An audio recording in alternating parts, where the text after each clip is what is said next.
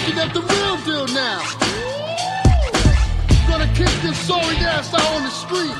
What you got. You used to think you owned the street. And your ass is dead meat. How's it going, ladies and gentlemen, and welcome to week number 24 of the Lo Down Show Brand Wars on No Holds Barred Wrestling Podcast. We are your Canadian based WWE podcast that discusses and reviews Monday Night Raw and Tuesday Night SmackDown from the past week, as well as our Twitter poll segment called the Luke Gallows Polls and WWE Headlines, where we talk about any important news in the WWE. Every week, the Lo Down Show is broadcasted live on Spreaker at Spreaker.com slash NHBWP. And after it is done, it is posted in, on YouTube, SoundCloud, iTunes, Spreaker, and Stitcher in full. We are everywhere for your enjoyment and easier and convenient for you to listen to us. If you'd like to join in on the conversation and have your thoughts, opinions, and questions read on this podcast, tweet us at No Holds Barred WP or by dropping a comment in the comments sections on YouTube. I am your host, the self proclaimed greatest host, Kyle Masters, and this week I am not joined by my co host. He is away at corporate school and he cannot get to the podcast tonight, so I will be doing this solo in the studio. But that doesn't mean you're not going to get a lowdown show this week, guys. You're getting it, regardless of not alone or with Corporate Cappy. I'm here to do it for you guys, so let's get it done. So, as we start off the show every week, let's get into your tweets. And we'll start off with at Craig Messi on Twitter. He says Raw had to step it up because SmackDown has been better or been the better show, and tonight's Raw was really good. He also says the cruiserweight match stole the show, and I think the right guy won, and Chris Jericho is hilarious. And then I do agree with you that on, that, Craig. Definitely the cruiserweights did steal the show. Uh, Raw is definitely better than it has been in the last couple of weeks. Um, the cruiserweight that won, yeah, I kind of see how you can say that Brian Kendrick should have won. I mean, the guy's old, and you know we'll get into that later on. But and Chris Jericho is always hilarious. I love that. So thanks for your tweets, Craig, as always. Moving on to Tony Mercer at Recrem Why Not on Twitter. He says better than the last couple of weeks but Reigns winning was a dumb decision. Cruiserweight stole the show, in my opinion. So another person saying the Cruiserweight stole the show. Definitely agree. The Cruiserweights were probably one of the best highlights of Raw I've seen in a long time. Um, as for Roman winning, yeah, I agree with you, Tony. Um, that was really stupid. And as for my boy Kevin Owens losing that match, still didn't really make sense. But we saw what happened in the aftermath, which we'll get into after. Moving on, Gamma NU1 on Twitter. He says, like the ending, not much else except Raw Cruiserweight, which he put the Raw Cruiserweight logo. I definitely agree, Gamma. Uh, he also puts hoping for next week to be an awesome post pay per view show like SummerSlam and Battleground. Uh, I really hope so too. I really hope they start building off that, leading into their next pay per view of Hell in a Cell in October. So let's pray that it is a good show, just like this week, and hopefully a little bit of an improvement. Moving on to at Forlorn on Twitter, he says, Well, strong start, strong finish. Love that Roman didn't talk, but hate the constant interruptions of authority figures. Okay, I love that Roman didn't talk too, and I definitely agree with you with that. Um, it seems like it's a little bit overkill. Um, he says the ups are the cruiserweights because the cruiserweights woke up the dead crowd from Teddy Long style tag team bullshit, which is 100% agreeable. Uh, the crowd was definitely dead. I mean, the Memphis crowd is always dead. Like seriously, I'll get into that later. But Memphis, you guys got to wake up and stop being so casual. Uh, moving on to with Forlorn, he puts, "I was pumped for the list of Jericho. Then Enzo and Cass came out. The then the Shining Losers, and then the New Day came out. Okay, it's interesting opinion. He also puts, "I just had to use the bathroom because I knew what was to come next. There was no Jack Gallagher, which is a shame. oh boy." He also puts in last up no Darren Young in Titus segment for the second week in a row. Now that's just wonderful. He puts the wonderful gift from Broken Matt Hardy, which is hilarious, and I definitely agree with you there, uh, Forlorn. Uh, definitely uh, having them not on TV for the second week in a row is definitely looks like a good sign of them not having them on TV full time anymore until they figure out what to do with them. So I'm I'm glad they did something like that, and uh, by keeping them off TV. He says, "The question today is, what are your fully detailed predictions of Clash of Champions and thoughts on James Ellsworth?"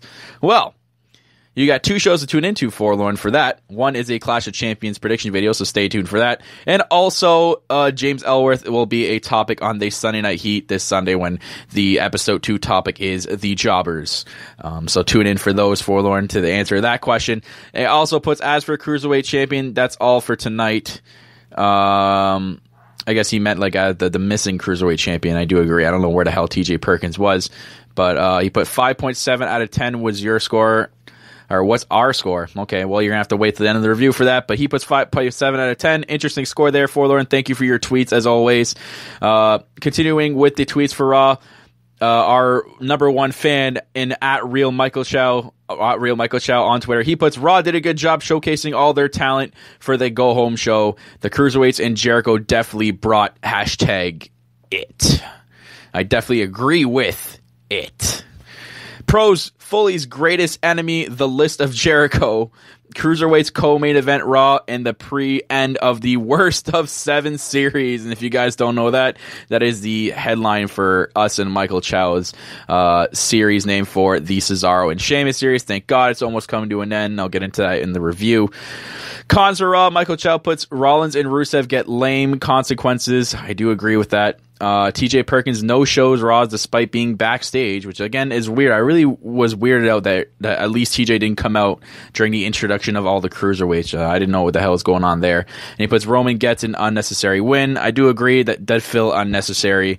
Um, we'll definitely get into that in the review. Also, let's get into the tweets for SmackDown going back to Gamma at, at Gamma NU1 on Twitter, he puts the way the IC title match ended pissed me off. I definitely agree with that. Getting tired of the Nikki and Carmella story ending was cool. Um, yeah, I think we're going to get some clarification with Nikki and Carmella. This is uh, getting a little redundant and uh, definitely needs something behind this feud. Uh, I do agree the ending was pretty cool. We'll get into that in the review. So on to the SmackDown tweets by at Forlorn. He puts the start was great, ending fuck the ending. I'm tired of Dean. Divas match. I wanted to neck myself. okay, interesting tweet there, as always, Forlorn. It was, but Breezango isn't facing Heath and Rhino. What the fuck? So Forlorn, it's a huge Breezango fan, as is Corporate Cappy. So I know they'll get their shot one day, guys. So hold on. Eva Marie didn't appear tonight with WTF. I guess Relevance wants to see uh, Eva Marie. I, I kind of want her to stay off TV there Forlorn. I don't. Want, uh, I want her to stay away from the title as far as possible. And he also puts Randy and Wyatt feud was has bored, no surprise. Yeah, basically it is boring and it's terrible. Um, I don't see how anyone can get actually behind that feud. He also puts Miz and Ziggler was the second best thing on TV. Want to know the first? Do you? Well, I do wish I knew where this man was. and he has a picture of Curtis Hawkins. I mean, we've been getting these promos like the last couple of weeks by him on when he's going to make his debut. He still hasn't made his debut yet. Maybe one fact should say that Curtis Hawkins doesn't make his debut. He just cuts promos. oh man! But he also puts overall solid show. Fact have been better than with an Eva Marie entrance. Ugh, I don't understand. Fourth, I don't know why you can get behind her. Um, he puts six out of ten. Has been better than Raw. Had a worse ending. Okay, okay, had a better start than Raw and a worse ending. Okay, I agree with you with that. Um, Craig Messi on Twitter also puts for SmackDown was a good opening, a good main event, and that's about it. Oh, and Heath Slater is money. Very funny. I think Raw wins this week. Okay, so interesting there. He thinks Raw wins this week. Uh, Ray Shell's Twitter comments are pros Alexa Bliss turns the tables on Becky Lynch. Yes, interesting when you put that there. Uh, Cena jobs to Ambrose. Miz and Ziggler main event in the middle of the show. Um, yeah, I guess that uh, I can see that as a pro. I mean, the match ending was really bad. Um, cons, he puts Naomi tries to make Glow the new It, which I mean, I agree with that. I don't know what the hell that freaking backstage segment was. Definitely not worth TV. Uh, Randy Orton beats Who Cares, basically, 100%. Uh, the Usos insult Slater's 27 kids and Rhino's crackers. Um, yes, I definitely agree. Why would you? Diss his 27 kids or 26 kids or whatever it is. Um, question Why should we care about Bray Wyatt? He's lost all his WrestleMania matches. His promos mean nothing when he keeps losing. And I'll get into that into the SmackDown review, so stay tuned, Michael Chow. He also puts Which NXT call up do you think has potential that the WWE has failed to push? My pick's Tyler Breeze and the Ascension. I'm gonna have to agree with you with the second pick you put there is the Ascension. They're such a huge tag team back in the day. It's it's incredible. Um, as you know, they were like my boys before they even came up. I really thought they were going to do big, and now they're just them ever since they got called up. So my pick would be the Ascension, Michael Chow, and I do think that they deserve a better push than what they're getting right now. Um, so we'll move in, guys to the Raw review. Waste no time here. Oh, by the way, there won't be any Luke Gallows polls or uh, breaking news this week. Um, it's been a busy week for both of us as uh, my my job has been uh, really stressful lately in uh, corporate cappy at school. So it's uh, been really tough to get a lot of stuff done. So bear with us and bear with me for this episode. And I apologize that there is no Twitter polls or news segment. Like y'all ever cared, anyways. You never cared about it. You never cared about it. So we'll move on to the Raw review. So we get into the opening segment. Roman Reigns gets uh, gets cut off by Stephanie. Um, Stephanie gets cut off by Mick Foley basically, and then both Seth, Rusev, uh, for Raw, and then oh, what the heck did I just write? See, this is what this is what sucks. I don't have my my corporate co-host here to help me out here. uh, I'm all over the place. Um, I got some notes for Raw actually. They acknowledge in the pre-show that Bayley and Sasha's shoulders were down. If you guys remember the the match last week, um, how the ending happened, uh, Sasha rolled Bayley up in some sort of like uh, flip pin, and like Sasha's shoulders were down and Bayley's shoulders were down, and it uh, they acknowledged it this week. Um, during Raw, Dana and Charlotte uh, were shown with Mick Foley, and we're showing the footage of uh, the double pin, and uh, basically saying that. Um, instead of uh, instead of the announced tag match for Raw, Bayley should face Sasha for the number one contendership. Uh, Mick says it's a good idea and instead books Sasha versus Bayley versus Charlotte at Clash Champions for the title, and then thanks Dana for it, and then she just gets shoved down by Charlotte. Um, so basically, Dana is the one causing the triple threat now at Clash of Champions, and that's very interesting. Uh, you'll know my opinion once we do the Clash of Champions uh, predictions seg- uh, podcast. So we get into the opening segment um, with Roman Reigns, Stephen McMahon, uh, and uh, and Mick Foley. Uh, Seth versus Rusev is booked for Raw, and Rusev versus Reigns for the U.S. title at Clash of Champions. Mick says they need to make Raw better than help the ratings. They book a rematch between has a stare down with Owens, and then as he's walking towards the ring, you'll notice he has a brief stare down with Roman. Are they shield teasing? Come on. I know all you out there are thinking it, and I've seen on Twitter, you guys are all thinking that there's going to be a Shield reunion. And you know what? I have an interesting theory about that, which you're going to hear right now. So, this is my theory. I think the Shield are going to reunite. They're all three baby faces right now. I think the Shield will reunite at Survivor Series. I think that Ambrose is going to it's it's gonna it's gonna turn into like a Survivor Series uh, tag team match, and it's gonna be the Club versus the Shield. I think Ambrose and Styles are gonna continue their feud after No Mercy. I think Cena's gonna win the title at No Mercy, and then Cena or Ambrose and Styles will continue feuding after. They're gonna recruit team members for Survivor Series. Dean Ambrose is going to recruit Rollins and Reigns, and AJ Styles is going to recruit obviously the club, and it will be the club versus the Shield at Survivor Series. If that happens, holy crap, you hear you heard it here first, ladies and gentlemen. If that happens, I'm going to lose my shit. But I honestly think that's what's going to happen, even by that little teaser. I know it's not saying much or not showing much, but I think they are teasing a Shield reunion, and we're going to see it soon. But yeah, good opening to Raw. Good main event booking. I thought it was pretty good uh, for them to book Owens and Reigns together in a cage match just to make Raw boosted more than SmackDown for this week. Um, but we'll get into that when I reveal the ratings. Um, it's slowly looking that Foley won't last very long, though, as Stephanie looks like she's been she's been questioning Mick's decisions with stuff. So um, it's going to be interesting what they do down the line with Mick Foley and Steph. I do think that Mick is not going to last. Eventually, she will fire him and hire Triple H as the new general manager of Raw later down the line. I know it sucks, but I just think that's probably what's going to happen because it just looks that way. Unless you know I'm wrong, and then we we get Mick for longer than that, and as uh, Holy Foley continues on the WWE network network. So move on into the first match. Rusev versus Rollins was actually a really, really good match. Um, there are a lot of good spots back and forth. Rollins looks more baby faced than ever, especially after the ending of Raw. Um, the match actually ends though in a double countout. Uh, they brawl to the announce table area, and then freaking Seth Rollins climbs on the announce table and cross bodies off the announce table, which is on the stage, ladies and gentlemen, onto the Rusev on, who's on the floor, not on the stage, but on the floor. So that's a pretty high risk cross body, and especially with Seth Rollins with a history of his leg injury. Um, that was just a crazy spot. What a way to kick off Raw, and what a way to have Seth Rollins just spot spot fest himself tonight, especially in the main event, which we'll get into later. Um, but backstage we go with the Mick Foley, Charlotte, and Dana. As you saw, as I talked about earlier, um, they show uh, the footage and then they book the uh, the one match at Clash of Champions. We then get into Jericho and Owens, uh, basically mocking Mick and uh, Jericho getting uh, making a list of Jericho, which is pretty, it was unreal, and I just seen all over Twitter like everyone uh, retweeting that picture of uh, Chris Jericho in WCW with that massive list. So he starts the list of Jericho of all the things that Mick Foley's been doing bad, and it's just it's freaking hilarious. Um, move move on on Raw. Strowman destroys Sin Cara enough said about that. You know how I feel about Strowman, guys. I freaking hate this dude. The guy just needs to find a feud already. I hate him squashing. Now he's just squashing talent instead of local jobbers. I just I don't get it. I don't see why they're so high with this guy. He's just it's it's it's awful. Like it's god awful. I hate watching Raw and hearing his stupid entrance sound.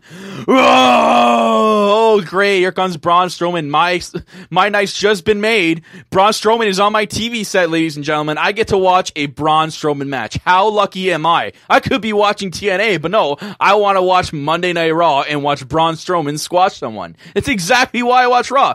No, it's not. It's fucking garbage, and it's bullshit how we get this shit on TV in a stupid three hour long show that should only be two hours, so we don't have to see this shit anymore. It needs to stop. It needs to go away. I'm moving on. So move on to the tag team match. I ended up having the, the women's tag team match: Bayley and Sasha versus Charlotte and Dana. Um, so Charlotte, or sorry, Sasha Banks still nursing that back injury with the wrap around her.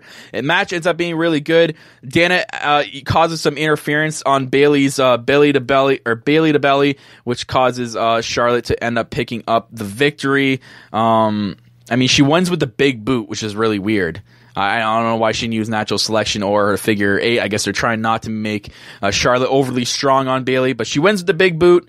Um, I mean, who does she think she is, though? Like Test Andrew Test Martin? Was that Andrew Test Martin kick we just saw? Was that the big boot? I mean, I mean, I still can't get wrap my head around it. Yeah, I just said that it doesn't make her look, but then it kind of does make her look strong. Like she won with a big boot on Bayley, who's supposed to be the next top diva in the division. I don't understand.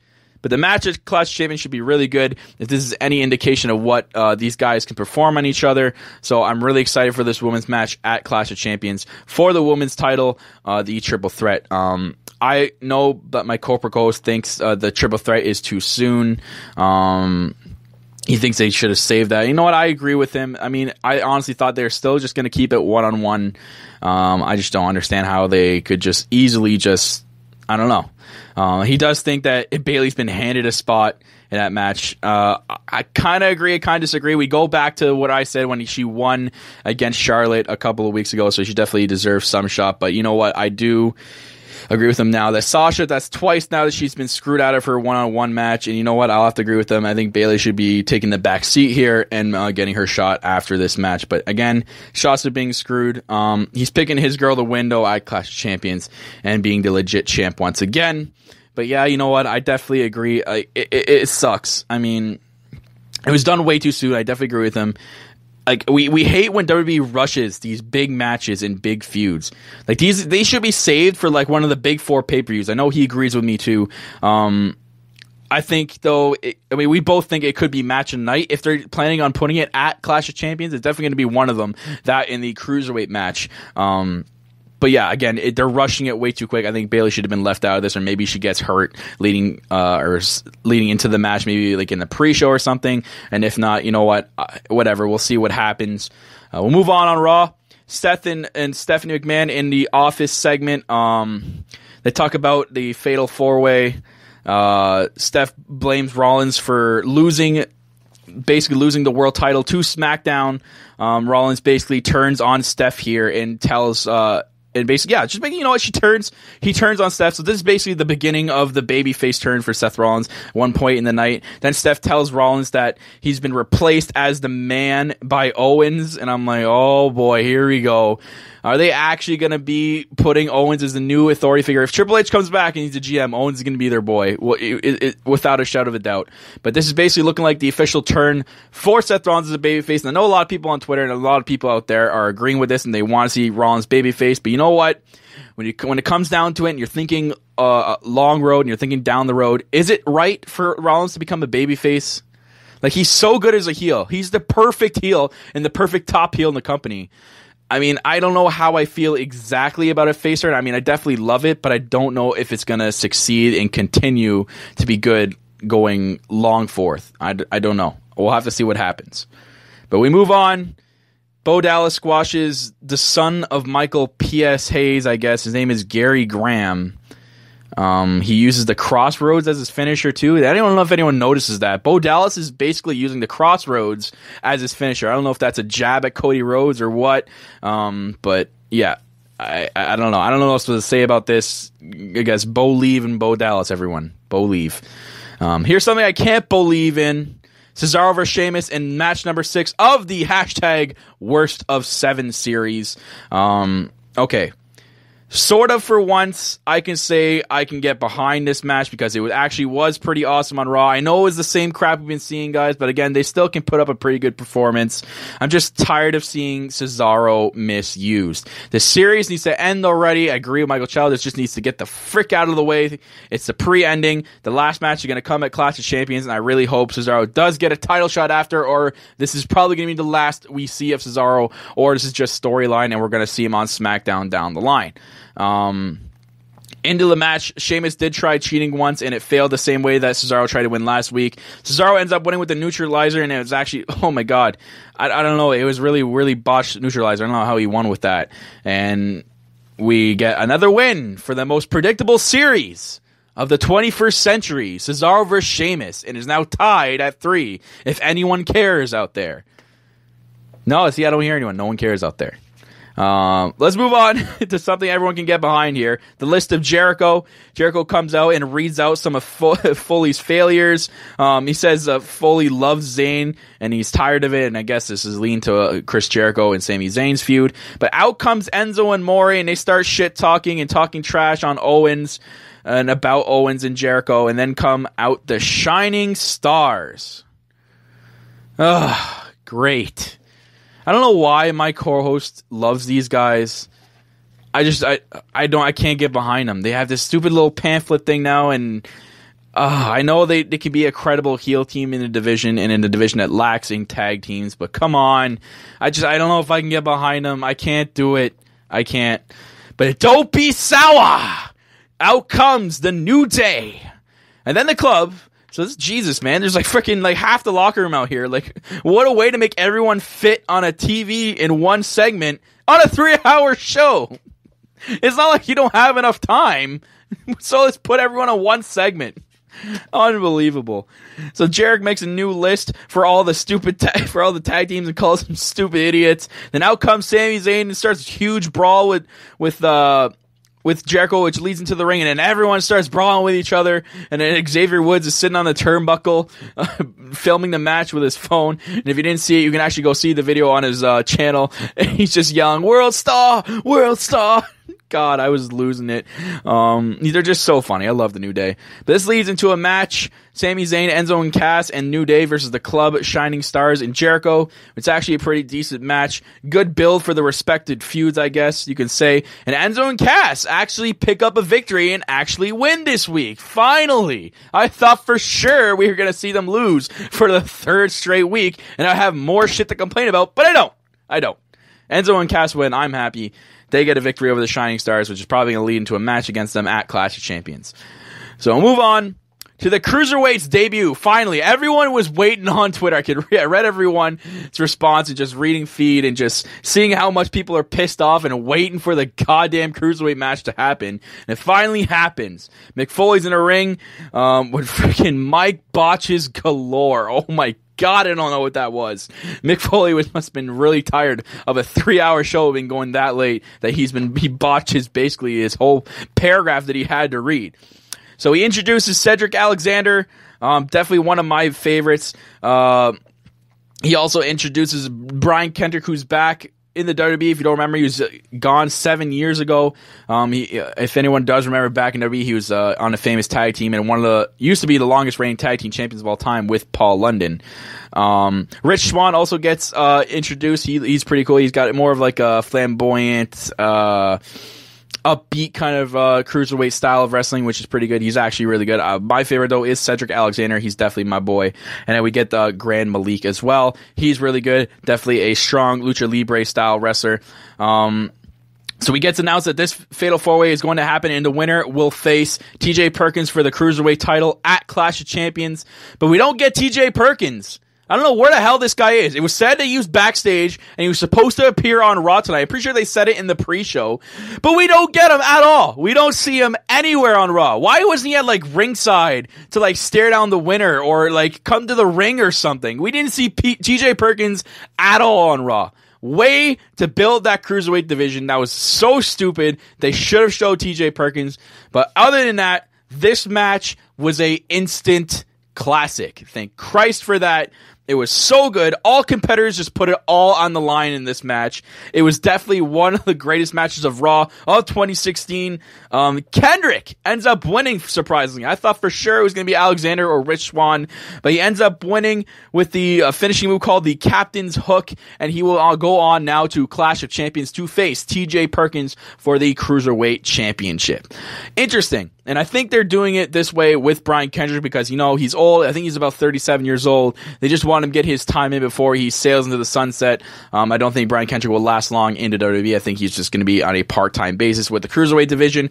But you know what? Good for Brian Kendrick, and we'll see how good that match ends up being at the uh, Clash of Champions. I think it's going to be a really epic match. Brian Kendrick had a really, really good showing at the Cruiserweight Classic, same with TJ Perkins, so it should be really good. Moving into the main event of Raw, we had Kevin Owens versus Roman Reigns in a steel cage match. Um, this was unreal. I was definitely really anticipating for this. Um, we haven't seen a cage match in a long time. I really don't remember the last time we actually saw one, but it just you know this one was oh, was good. I mean, it was all right, but it was just short. It felt really really short, and they could have made it go long. Um, but Roman wins, of course he does. He freaking wins everything. Um, beats Kevin Owens by jumping, uh, climbing the cage and jumping to the floor first before Kevin Owens can crawl out. And then out comes Rusev. They lock Roman inside the cage with Kevin Owens and they start beating him up. Then out comes Seth Rollins. And Seth Rollins does something so crazy. And I literally was cringing hardcore and like losing it because he climbs to the top of that cage and then cross bodies down on Kevin Owens and Rusev from the top. And I'm like, oh my God, does this guy want to hurt his knee once again? I know he doesn't really lay it on his knee, guys, but come on. Like, Jesus, two crazy spots in one night. This is why Seth Rollins is the man. This is why he's one of the best wrestlers right now on the roster. Craziness out of that. And then Seth comes to the rescue of Roman Reigns. Again, I think they're teasing the heel once again. But again, Rollins is now officially babyface. We can say after this week. If we don't, I don't know what the hell we're doing. I think he's, uh, then he's like the most hardcore tweener I've ever seen. But again, it looks like they're, they're teasing that Shield reunion. So we'll see. But that's how we end off Raw. My score for Raw this week is 7 out of 10. Um, it definitely was a big up with the Cruiserweight division, the uh, cage match, and the beginning of Raw, and also the list of Jericho definitely gave it a boost. So we'll see what we do with SmackDown. And as for that, let's move into the SmackDown review. Um, great. You know what? I, I gave it props to Raw this week, and I really wanted SmackDown to come out over the top. They did okay, but you know what? They didn't do greater than Raw, and I can say that now before I do the review that Raw definitely won this week over SmackDown, in my opinion. Um, we'll get into SmackDown right now. We start off with Becky and Alexa's contract signing in the beginning of the show. Um, it's interesting. I really like the fight feistiness out of Alexa. Um, she's playing a really, really good heel. Uh, I love, I love her mic skills. I thought they're going to be pretty weak. I mean, like I didn't really see a lot of mic skills from her in NXT. I know she had a, back, a lot of backstage promos with Matt Blake and Murphy, but you know what? I'm glad Alexa's coming out as that uh, really good heel and could be a credible top heel in the women's division on SmackDown. Um, So they have a good contract signing, even though Dan Bryan didn't want any physicalness to happen, and the crowd hated that. It still happened. Um, Becky had a great story as well, and it definitely builds her up as a strong champion, incredible champion. I love the her her way to how she built up her as a champion. Alexa signs a contract and basically whips it at Becky, and then flips the table onto her, and then they start brawling on the outside ramp, and eventually Alexa runs away with Becky holding up the title in the ring. What a way to open SmackDown and get this this feud off and over. Well, not over with, but started. Um, should be a really, really good match when you do have their match at No Mercy. I'm really intrigued to see how they build this from here. Um, definitely Alexa Bliss crediting herself or making her a credible heel, top heel in the women's division on SmackDown, and Becky certifying herself as a strong, credible champion as well. Some more women stuff in on SmackDown. We had Naomi and Nikki Bella face Natalya and Carmella. Um, we get into like the Naomi Nikki backstage interview, and basically Naomi's making trying to make Glow be like the it of SmackDown, and you can't make it the Jericho it of SmackDown. Glow just doesn't work, and Nikki trying to do it too, and just I don't know. It that segment just felt awkward as hell and too planned in PG nonsense. Oh, it was just gross. Um, Naomi was saying some stuff about Glow too. I don't know. I could, you know, I, I don't know. The segment was boring. Enough said. But they get into the match. Um, it barely lasts a few minutes. Carmella drags Nikki out of the ring basically and whips her back first into the barricade to cause a disqualification. So it looks like they're continuing this feud with Carmella and Nikki Bella. Um, it's going to be really interesting to see what they do from that on and, and maybe explain to us why they're actually fighting each other and why Carmella has this huge grudge against Nikki Bella because it doesn't seem to be going away anytime soon. So we'll see what happens and perhaps maybe Naomi and Natty feud, which I can't really get behind that because I don't give a shit. Uh, that, that's the feud that looks boring as hell. The feud that should be saved for like main event and just stay on main event because we don't need to see that on a two-hour SmackDown where we have to fill gaps with something we actually want to actually watch. So, move on on SmackDown to the Usos versus American Alpha. The American Alpha returning to the ring. Chad Gable looks like he's fine, but he had his knee wrapped up a little bit, and they came out very with a very serious look and attitude about them. Um, to get back at the Usos for what they did to Gable. Usos work Gable's injured knee for most of the match as well, but then Usos end up picking up the victory by super kicking Jordan at the same time, and then Usos splashing Gable for the win. And now it is said that the Usos will go on to No Mercy and fight Rhino and Slater for the tag team championships. And you know what? This makes sense not to have American Alpha in the in the title picture just yet. Um, I don't think it'd be credible to see American Alpha versus Heath Slater and Rhino, two face teams going for the titles at SmackDown's second pay per view. I think that we need to save that for down the line. Uh, American Alpha will get their shot though, but I think it will be when the Usos have the gold around their waist, and it'll probably be somewhere at like Survivor Series or maybe later on down the line at Royal Rumble. I just I'm not sure how long Gable will play this injured leg for. We'll see how that goes. Um, I don't know what they do with American Alpha leading up to No Mercy. Maybe they still have him feud with the Usos leading there and, and having Heath and Rhino at ringside or something. I don't know. I don't know what the WWE has planned, but it better be something good. American Alpha is definitely one of the greatest tag teams I've ever seen, and I hope that they have something even at No Mercy for them to do. Um, Usos played a good backstage heel promo as well with Heath and Rhino, uh, talking about his 26 kids and making fun of Rhino's crackers. Um, so Usos definitely, I like them as a heel, and a lot of people love them as a heel now. Their whole look is unreal, and now like even their backstage promo work as heels it works. It fits. Usos a heel right now is the best thing going for that tag team division. We'll move on to Baron Corbin and Apollo feud continuing. Um, then we get the useless Jack Swagger on commentary. Why in the hell was he on commentary? This was like the most sloppiest work of commentary I've ever seen. It didn't look like he knew what he was doing. Didn't like didn't sound like he knew what he was doing, and it just seemed unneeded. Like it didn't need to be there. Like Swagger, just go away. We don't need you on SmackDown. This was so stupid. And like into the match we go. I mean, it ended up being really good. Um, I love the more intense Apollo Crews. Corbin ends up even picking up the win. So Corbin wins clean again. Are they? I'm not. I'm not even sure how I feel. Like, are they burying Crews right now because he's not homegrown and Corbin is? Like, what's going on here? They've they've made Corbin, who's like this full fledged heel and how and like he should be using cheating tactics to win, beat Apollo Crews twice. I mean, I have nothing wrong with that. That's awesome because Baron Corbin is now being just just built up even better and better every week, and I love it. I just I don't know what the the get behind of Corbin beating Apollo Crews clean twice now is. And then after the match, he goes and confronts Swagger and says he should have stayed on Raw. And I'm like, oh no, please do not feud with Jack Swagger. Please. That's just gonna be terrible. I don't want it to happen. Swagger, just go to main event and just just stay off TV. Stay off. Get off. There's no hyper excitement for this guy. I want to know if anyone out there is a Jack Swagger fan. If you are, please let me know because I actually want to know if he has fans out there. I mean, what do you do with Apollo Crews now? Like, if they're to continue, if they're actually going to do this feud of Swagger and Corbin, what do you do with Apollo Crews? Because you need to do something good with this guy because he's so hype and he's got so much talent, and you cannot just bury him every single week. You need to make this guy credible and a top future guy on SmackDown. They need to do something with him. I really hope they do. So we'll move on to Miz versus Dolph Ziggler for the IC title.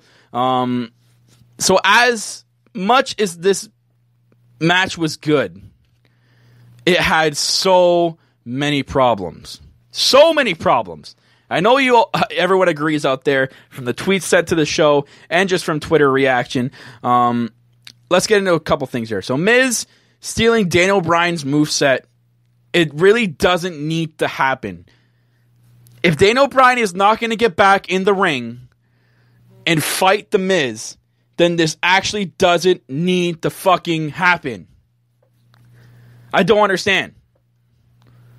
Like we, we, we get the, the stupid uselessness of the spray can again. So we get to see this bullshit for the second fucking time in a row. I don't why does he need to use a spray can? Why? It's so garbage. We had such a good match, and it could even led to Miz winning clean for once, but no, uses the goddamn spray can.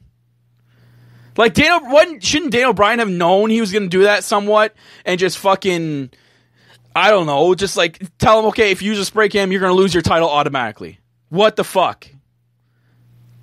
I I I can't I, I can't guys. I can't get behind why the hell the spray can was used again. Um, I don't even know what else to say about this match. Like, how many times are they going to job Ziggler? Like, I want to know. I'll wait. How many times are they going to job Ziggler? Too many times. Too many fucking times.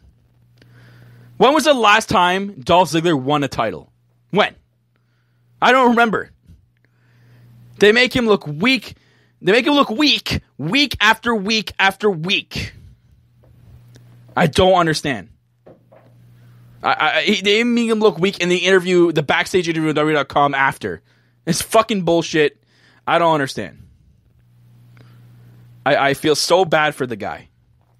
Like, does this continue into No Mercy, this feud? Like, I don't know where they even go from here. Is Miz going to get another opponent for the IC title, or is it going to be continuing with Dolph Ziggler? And can, if it's Ziggler, can he finally win the big one? Are we finally going to see Dolph Ziggler in the title picture and continue with the title more than like one or two weeks after No Mercy if he does win and they continue with that feud? And if not, put Apollo Crews in this damn feud and make him the IC champion to make him a credible superstar on SmackDown.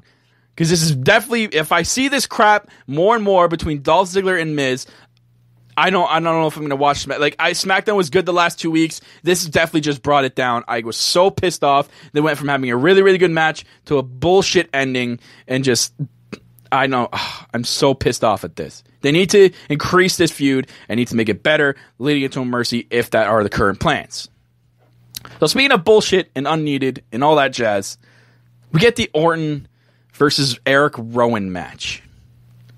Yes, this actually happened on live TV. Eric Rowan faced Randy Orton. I don't know who out there can get behind this. Why must we get these types of matches on a show that is two hours long, that has so much potential to push good talent and have good matches? We get Randy Orton versus Eric Rowan. my God. I guess I could say that, hey, at least we didn't get the return of the fan loved Gary the Milkman Millman. That piece of garbage that I don't understand why was ever on TV. I don't understand why that wasn't in a dark match or a dark segment Why the hell was that even showing on TV? And why the hell did we get Randy Orton versus Eric Rowan? That just straight up sucked. The match sucked. Eric Rowan sucks. Randy Orton sucks. This whole thing sucks. If we get in, we get to more sucky shit. So after Randy Orton wins, obviously, Bray Wyatt appears on the Jumbotron. He says some shit that bored the hell out of me. It's the same shit every goddamn week, saying how he's a god and all this stupid bullshit about how being a god. I'm like, one sec, Bray. Gods don't lose. Okay? You lost 70% of your total matches. How are you a god? I want to know. You've almost like you almost likely got the same credibility as a local jobber. You are not a god. You are a god maybe of the jobbers. You are just not a god of anything.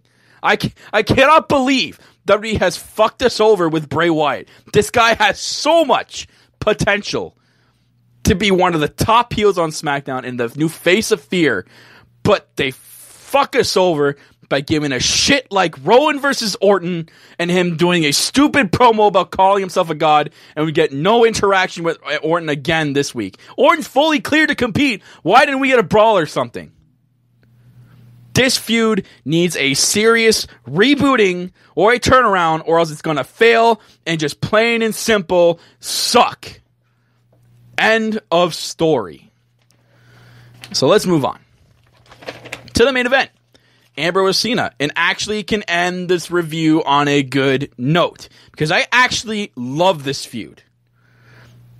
And I, I love how they're doing it. I love how they're building it. I just, I love how Cena is now into it. And a lot of people hate that Cena is now back in the main event picture, but it just makes the feud better. We don't get a simple Ambrose for Styles continuation feud. We get an added of John Cena. And this match was actually really good on SmackDown. If you guys want to go check it out, it's actually really good. Um, the ending was a definitely ending in crazy fashion. It ended in, in uh, I couldn't believe it. Ambrose countered the AA into a roll up and actually won by roll up. He beat Cena by roll up. And I'm like, oh, I was shocked. I'm like, no, no, no, no, no. They didn't just, really? Cena won by roll up, or Cena lost by roll up on SmackDown unfreaking believable. I don't know if that's ever happened before. Cena rolls out of the ring in like disbelief. AJ Styles then comes off the barricade with a phenomenal forearm, forearm. God, sorry, and then gets into the ring and then hits the Pele kick on Ambrose. And then we get Daniel Bryan that comes out and then books next week AJ Styles versus Ambrose for the title. Holy crap! If there's any way to make this feud get any better and continue into No Mercy, that was just it. What booking? That was unreal booking. And now next week's main event is going to be even more unreal with AJ Styles versus Ambrose. I do think Cena is going to have some play into that match as well. Um, but I don't think AJ Styles will actually even lose the title next week. I think it's just going to be a really good match. I cannot wait to see how this feud continues, and I cannot wait to see that match next week. Unbelievable. SmackDown got it definitely a 7.5 out of 10 for me this week. Um, it definitely it would have gotten like an 8 or 8.5, but again, that Randy Orton bullshit brought it down. But definitely unbelievable. I mean, it's so close this week, guys. Um, I have written down here. I know I just said earlier that Raw won this week, but I have SmackDown at 7.5. Ugh, it's so tough. I mean, I could go ahead and change it right now and put uh, Raw at 7.5 and SmackDown 7.0, but you know, I got to pick a clear cut winner this week. Even though Raw had its cruiserweights, there's definitely some down points, and I know SmackDown had its down points too. I just, I love SmackDown. I love the fact that it's two hours and every storyline, except for Randy Orton and Eric Rowan, every storyline makes sense, and it, it just, I love watching it. I loved it. I gave it a 7.5. I know there's going to be some disagreements with that, but SmackDown definitely won this week again for the third straight week in a row. They're winning the brand wars on the Lo Down Show. And guys, as for the Lo Down Show, that's gonna do it. And I know I'm sorry we didn't have the Luke Gallows polls this week or WWE headlines. Um, so tune in next week for the Lo Down Show, and we'll get our corporate co-host back and maybe have some news and more polls for you then. As for that, guys, I'm Kyle Masters. I'm your self-proclaimed greatest host and I will be continued to be joined by my co-host, the boss, Mr. Corporate himself, the glorious Corporate Cappy, next week. Thanks for tuning into the Lo Down Show, broadcasted live on Spreaker at Spreaker.com slash NHBWP. After it is done, it, guys, it's posted on YouTube, SoundCloud, iTunes, Spreaker, and Stitcher. We are everywhere for your enjoyment, and it's easier and convenient for you. Again, if you would like to join on the conversation, have your thoughts, opinions, and questions read and discussed on the podcast, tweet us at No WP or by dropping a comment in the comments section on YouTube. That's going to do it, guys. Again, I'm Kyle Masters, and I'm reminding you to keep it on the lowdown.